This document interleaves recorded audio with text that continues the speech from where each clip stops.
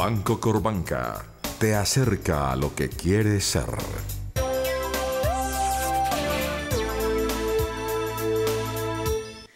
Muy buenas noches. Nuestra invitada de hoy es la doctora Eva de Palomino.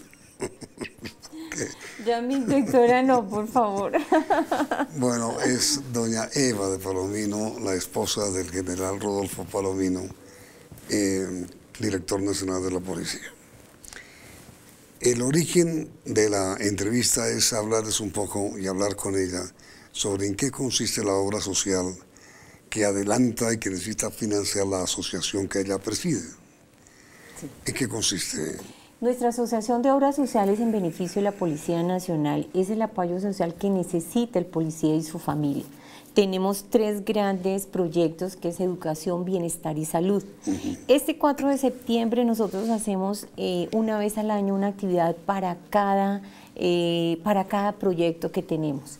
El 4 de septiembre tenemos Café por un Futuro, que es recaudar fondos para los hijos de nuestros policías y apadrinarlos en la parte de educación, desde primaria preescolar hasta 11 grados. ¿Pero qué quiere decir apadrinar?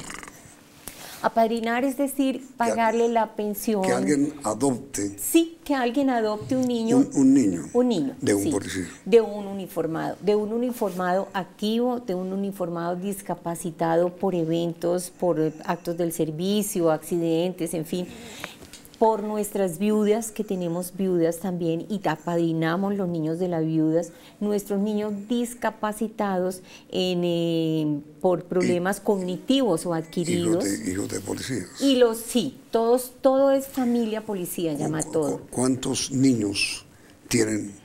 Nosotros apadrinados en este momento a nivel nacional tenemos tres mil y algo de niños apadrinados. pero en total ¿cuántos niños hay? No, en total en la policía mm, multiplica, yo hago de cuenta unos 120 mil, multiplica lo medio por 200, por dos niños por familia, a la cuenta así como a largo rasgo. ¿Y la, el, el café en qué consiste?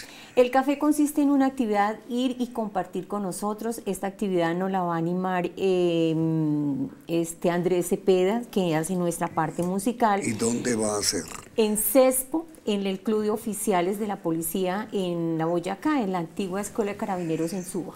¿Y ahí donde se reúne eh, recursos para auxiliar sí, señor. Ahí hacemos la invitación directamente, visita uno a uno de nuestros empresarios, de los presidentes de las compañías, de todas esas personas que ya hace nueve años nos conocen y hay otros que hasta ahora nos están conociendo. Ahora, en general, el policía nuestro, ¿a qué estrato social pertenece? Pues a general estrato 3. ¿Por qué? Porque tiene servicio de salud, pensión, cesantías, todas las ventajas, bienestar, todo lo tiene, por eso está eh, su estrato es 3. Pero normalmente eh, ya mí tenemos a veces estrato 2, estrato 1 también. Entonces, que tiene los mismos servicios, pero que su capacidad económica a veces, muchas veces no le da para mm. tener las tres comidas del día. Eh, ya hay casos de, niños. Yo sé la historia de un niño que va todos los días a su colegio en silla de ruedas, él solito, va y viene. Sí, eh, son dos gemelos. Un chico, son dos gemelos, son, eh, tienen un problema de retardo. El otro chico, uno chico está en décimo grado y el otro chico ya está en la universidad. Él anda en su silla de ruedas, es autónoma, se va en el Transmilenio, va a la universidad, está estudiando inglés y letras. Eh, regresa nuevamente a la casa y se pone a estudiar, pero ya está en la universidad. ¿Y, ahí la asociación que usted preside? Nosotros apadrinamos el chico en transporte, le ayudamos eh, eh, con el pago del Transmilenio, ahorita le estamos pagando el semestre en la universidad y ya inicia, ya inició, creo. ¿De la policía? No, en la universidad, él creo que está, si no me equivoco, está en la distrital, en la que está aquí en... Em, en la, en la circunvalar, algo así. Hmm. Ahí lo tenemos, ahí está. Y, a ver, ¿y qué hace la asociación con, con, los niños de los agentes de policía que tienen ese tipo de lesiones o que tienen en problemas eh, mentales o... La, la, parte de sanidad atiende lo que es el requerimiento de sanidad y ya la parte de capacitación o de transporte lo acudimos y lo atendemos nosotros en la asociación. ¿Y cómo es el caso de dos niños autistas que también tienen? El caso de niños autistas es un intendente que está, es el comandante ahí de un, eh, de un centro de erradicación, de un campo de erradicación eh, en, el, em, en, el, en, el, ¿qué? en antinarcóticos en la parte aérea. Entonces, él es el que distribuye eh, la parte de, em, de, alimentos y estas cosas. Y él tiene, nosotros le apadrinamos la niña, es un caso muy especial y son dos niñas autistas. Niñas. Niñas. ¿De qué edad? tendrán alrededor de unos 10, 12 añitos y la otra de 6 añitos, pero son sus sus amores, son, eh, es lo más tierno, es un extraordinario papá con sus niñas. ¿Y ustedes aspiran a qué el 4 de septiembre? Nosotros a qué aspiramos? A tener, a tener eh, nuestros recursos el año pasado y nosotros hacemos eso porque le damos información al empresario lo que usted donó, en qué lo utilizamos cuánto donamos el año pasado y para qué nos sirvió para apadrinar. Lo que nosotros hacemos en Bogotá, apadrinamos el año pasado alrededor de 600, 700 niños. También tenemos este mismo programa a nivel nacional. Cada seccional tiene una presidenta que es la esposa del comandante que esté en actividad. Nuestra junta está formada por esposas de generales que estén en actividad y la presidenta le corresponde, el que esté de director le corresponde a la señora. Y una persona que nos está escuchando y viendo a esta hora, que, desea participar o en la ceremonia o, en la campaña, ¿qué debe hacer? Nosotros tenemos unos teléfonos eh, en obras sociales donde se pueden comunicar con nosotros. Aquí aparece. Ahí están. Ya están ahí. Exactamente. Y nos cuenta nosotros también tenemos que saber, Yamid, porque usted, nos, eh, usted más que nada sabe que la policía tiene que tener una transparencia única en estos recursos. Nosotros somos una entidad privada, pero igualmente estamos sometidos a la DIAN e igualmente en Interpol para que los dineros que entren a nuestra asociación sean dineros legalmente adquiridos. Entonces, lógicamente, la persona nos llama, nosotros tenemos que pedir referenciación para no tener problemas posteriores. Em, en total, ¿esto cuánto hace que, que realizan esta obra social? Este café lo venimos haciendo hace nueve años. Este es el la novena versión. ¿Y en total cuánto recibieron el año pasado? El año pasado recibimos alrededor de unos 650, 700 millones y con eso apadrinamos alrededor de, aquí en Bogotá únicamente, alrededor de 600, 700 niños de educación formal y de niños con necesidades educativas especiales en los síndromes tenemos alrededor de unos 300 Pero niños. ustedes están dedicadas a todos los niños o fundamentalmente a los niños que tienen... A la familia. Nosotros es a la familia. En atención de una calamidad doméstica del policía, atendemos la calamidad. Eh, hay situaciones en que el policía o la viuda nos pide, no tenemos cómo alimentar a mi hijo, ayuden. Entonces les damos un subsidio de mercado durante tres meses por valor de 330 mil pesos. Eh, atendemos la necesidad del niño, eh, atendemos también algunas necesidades y solicitudes que tiene, por ejemplo, el hospital en sanidad o a nivel nacional sanidad. Por ejemplo, ahorita nosotros vamos a, este, estamos con el tercer piso del hospital central y vamos, eh, este es el piso de maternas y lo vamos, nosotros lo apadrinamos, lo, lo, cogimos y le vamos a hacer un mantenimiento y lo vamos a dejar bien bonito para decirle al hospital, le entregamos con una inversión más o menos yo creo que unos 30, 50 millones igualmente atendemos, estamos atendiendo en la parte de medicina nuclear algunas necesidades propias del hospital que le queda muy difícil hacerlo por presupuestos, porque usted sabe que contratar con el Estado y son necesidades que son urgentes y para allá atender al paciente con problemas de cáncer, sus tratamientos, todos. Entonces, esas necesidades las atendemos nosotros. ¿Y ustedes tienen alguna dirección electrónica? Sí, tenemos la página web igualmente. Pero la dirección cuál es? Si alguien quiere comunicarse con usted. Eh, llama a los teléfonos que tenemos.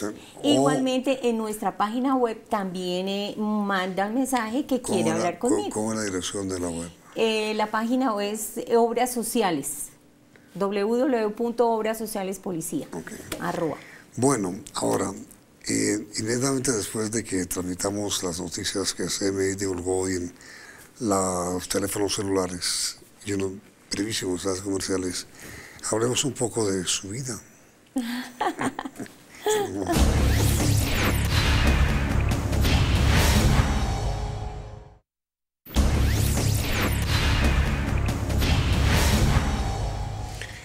Bueno, ¿cuánto hace que, está de, esposa del general Palomino? Hace 31 años, a mí. Aparte de eso que yo lo casé, ¿no? Él dice que sigue soltero porque el que propuso matrimonio fui yo. ¿Cómo así? ¿Cómo fue la historia? Sí, sí. No, pues eh, lo conocí, él era ayudante de mi cuñado, el coronel Cotrino en esa época, mi hermana casó con él, y era director de la escuela de Tuluá, de la escuela de policía en Tuluá. Y yo fui a pasar mis vacaciones, como siempre no tengo sin una sola hermana, mi hermana Gloria. Entonces allá lo vi y él era el ayudante de mi esposo, era subteniente, recién salido de la escuela. Entonces, pues no, yo le dije, no, pues aquí echémosle el ojo porque si no, pues ¿qué vamos a hacer? Entonces empezó, y él tenía a su novia en Tuluá, y, que no iba por vacaciones y empezamos. Luego mi hermana, mi cuñado salió para comisión al exterior y seguimos hablando. Entonces yo le mandé un lapicero para que por favor me, me, mandara cartas porque escribe muy bonito. Sí. eso fue lo que más me enamoró, la verdad. El general es, es un poeta, de verdad, escondido y escribe precioso. Y entonces así también me conquistó. ¿Y recuerda alguna cosa que le haya dicho? Sí, sí, lo que más recuerdo era que él estaba en Cartagena, ¿no? Entonces decía aquí en la ventana, a la luz de la luna, escribiendo, eh, cosas así. Entonces, eh, pues claro, yo le dije, no, este es un poeta, es extraordinario. ¿Y por, qué me dijo ahora John Fila que le dice? Porque ya llevábamos un tiempo, por ejemplo, pues escribiéndonos, pero realmente de, noviazgo duramos como 19 días. 19 días y entonces yo le duramos como 19 días. y yo le dije, si no lo caso se me escapa. Entonces lo pescamos y, ya, y aquí son 31 pero años. Pero 19 días de novio. Sí. Mucho tiempo. 19 días nos vimos. Mucho tiempo, ¿no? Mucho tiempo. no, yo creo que, que Dios le pone a uno las, eh, los momentos cruciales, uno tiene que saber y escuchar, saber escuchar en qué momento esto es mío. Y yo creo que mi Dios me lo mandó y, y aquí estamos. Eh, su, ¿Usted tuvo cáncer? Sí, señor, tuve un cáncer de seno, me lo diagnosticaron más o menos el 20 de junio del año pasado. Mi cirugía fue el, el 18 de julio que hubo balanceamiento de ganglios, mamá completa. Él estaba en el paro que estaba en el Catatumbo. Cuando supo pues la noticia, yo le decía, mira, no te preocupes, es tu función, haz lo que tienes que hacer y cuando vea la necesidad que te necesito, te llamo y te vienes. Pero sin embargo, él llegó el 18 en la noche, pidió permiso al director y llegó y yo ya había salido de mi cirugía y estaba ahí. Y todo perfecto. Y todo, no, Yamil, fue un proceso bastante largo, fue un año bastante complicado. Eh, a pesar de su trabajo y la responsabilidad, precisamente mañana se cumple un año de que el señor presidente lo hubiera designado como director de la policía. Entonces, a partir de ese momento era muy poco lo que él podía estar conmigo, pero mis hijos, mi hermana, mm, estuvieron muy ahí de la mano y, y, fue muy gratificante. Yo digo, mi Dios, no son cosas de mi Dios, son cosas del destino que tienen que pasar. Y esto de obras sociales para mí ha sido una píldora de sanación realmente para mi cáncer. Esto me ha permitido a mí eh, de, eh, eh, desenfocar, o sea, dar todo a decir, yo puedo atender, yo puedo ser útil, atiendo una necesidad de un policía, de una familia, de un niño, y eso me da satisfacción. Y yo creo que esto fue de las cosas que a mí me ayudaron a sobrepasar todo este problema. A mí no me gusta jamás en esas entrevistas hacer preguntas de carácter personal y mucho menos íntimo, pero lo hice porque Eva me lo sugirió porque ella también tiene un mensaje para todas las mujeres, en el sentido de que todas deben someterse periódicamente a un examen. De, sí, Yamid, mire, de mi cáncer, ¿qué puedo decir? No sentí nunca dolor, no habían síntomas, no había absolutamente nada. Se descubrió por un examen de rutina de todos los años y de un año al otro mire las consecuencias que se hacen. Entonces yo creo que uno debe ser cuidadoso, tener su tiempo para uno, para su salud, para su persona, para su cuerpo, escuchar qué es la necesidad que uno tiene y así buscar uno eh, ayuda. Cuando las cosas se hacen a tiempo, eh, las cosas tienen solución. Mm, y no enfascarse, yo digo que uno, cuando uno habla con tranquilidad de su enfermedad, independientemente cualquier que sea, lo asimila más y usted tiene eh, eh, dos días para que usted pueda sanar su mismo cuerpo. Usted aprende a conocer su cuerpo, lo aprende a escuchar y, y puede decir, así estoy. Entonces, además, yo creo que el legado que me dejó mi madre fue el servicio.